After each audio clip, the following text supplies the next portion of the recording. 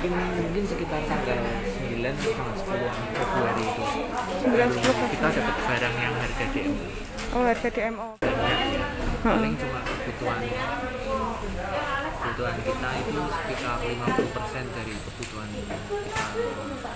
kita sehari-hari. Oh, hari-hari. kalau angka pastinya eh,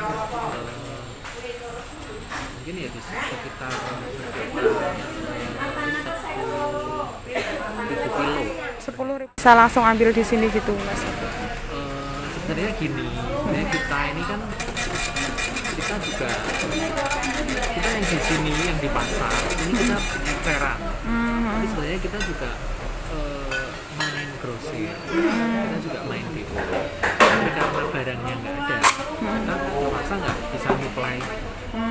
Yang tadi mbaknya sebutkan Oh, itu. itu. Oh, biasanya gitu. juga nyuplai kita sampai kudus kita sampai jepara kita sampai salatiga Lalu yang ke barat kita sampai ke kaliungu kendal Batam itu kita ada langganan semua gitu itu yang untuk grosir ya. Di grosirnya. tapi karena barangnya sangat terbatas kita sendiri juga untuk eceran kayak kita aja ini kita kurang-kurang ya mereka ini yang kasih kita sama sekali nol sejak Februari awal Sejak Februari awal.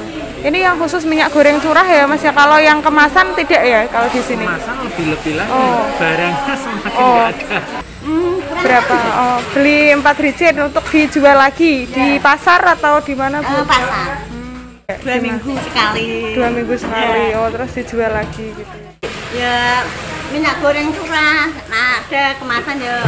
Beli kemasan tapi kemasannya kosong nggak ada. Tapi kemarin sempat susah nyari atau tidak Iya. bu? Nah susahnya gimana bu cerita bu? Ya susah itu ya. Sudah naik nggak ada barang. Gitu. terus ada info di sini tuh dari mana bu? Kalau ada minyak nggak tahu. Pas Pak itu persiapan bawa jejen kalau ada ya beli kalau mana bu? Bagaimana ya kan kemarin naik. Heeh.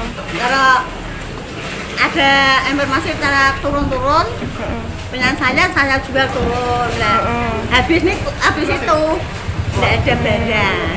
Kesempatan ini kalau jenengan jual Jangan lupa follow, like, dan subscribe sosial media Tribun Jateng.